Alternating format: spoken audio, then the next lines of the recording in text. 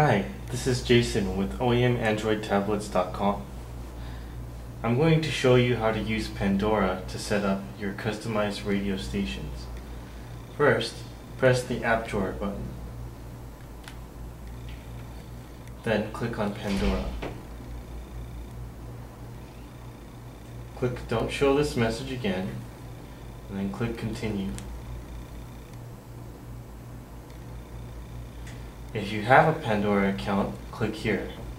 If you want to make one, click on I am new to Pandora.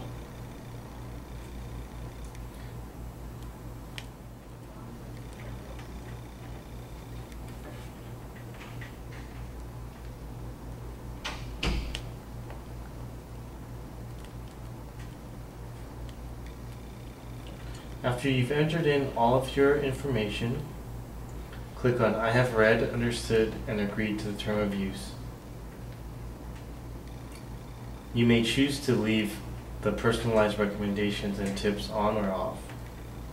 Then click sign up. After you've signed up, click continue.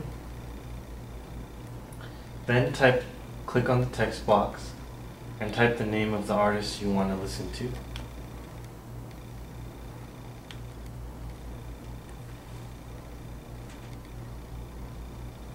Then it will search